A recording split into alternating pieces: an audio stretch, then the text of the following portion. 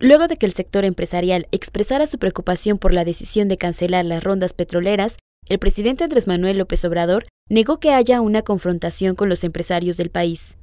Aclaró que quienes tienen contratos otorgados a partir de la reforma energética podrán seguir trabajando, porque así lo establece el convenio suscrito. A lo mejor es una falta de comunicación o no una interpretación adecuada en el convenio que se suscribió se establecen este, los compromisos.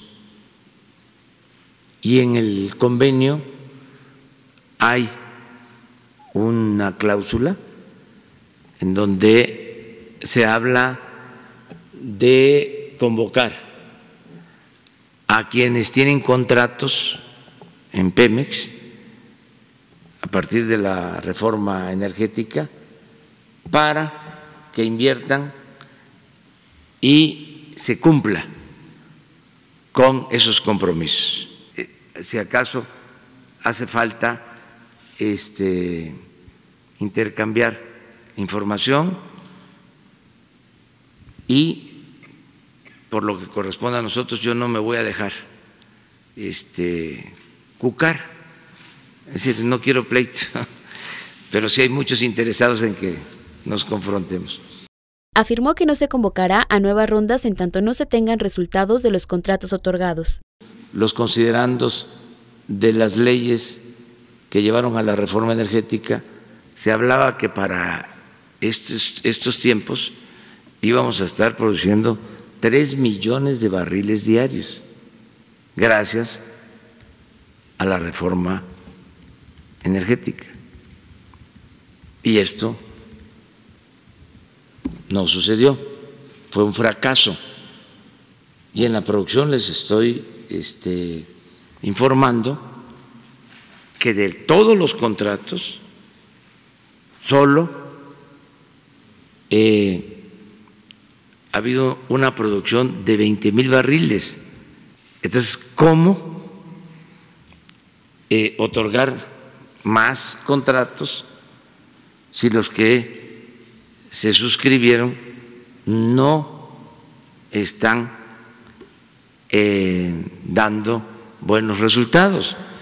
Si tienen esos contratos y producen, pues entonces sí, podríamos pensar en ampliarlos en nuevas rondas pero si no hay inversión,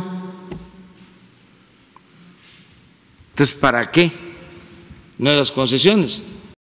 Sobre posibles cambios en las leyes electorales, comentó que se tiene la intención, aunque dijo que será hasta que pase el primer periodo de gobierno, propiamente hasta después de la consulta para la revocación de mandato, y será el Poder Legislativo el que resolverá este asunto. Lo que nosotros tenemos como compromiso, y para eso no hace falta modificar la ley, es que no haya fraude electoral. Logramos en esta elección pasada que eh, por primera vez en mucho tiempo no interviniera el gobierno federal. Finalmente, el presidente anunció que el Estado mexicano creará una empresa de telecomunicación que se enfocará en garantizar la conectividad por Internet y por telefonía móvil en todo el país principalmente a los pueblos marginados. Entonces, esta empresa nueva del Estado va a hacer lo opuesto que hacen las empresas privadas de telecomunicaciones. ¿Qué hace una empresa privada de telecomunicaciones?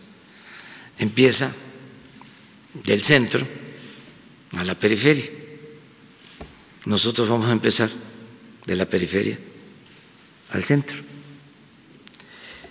Eso no significa cancelar ninguna concesión e impedir que todas las empresas puedan participar.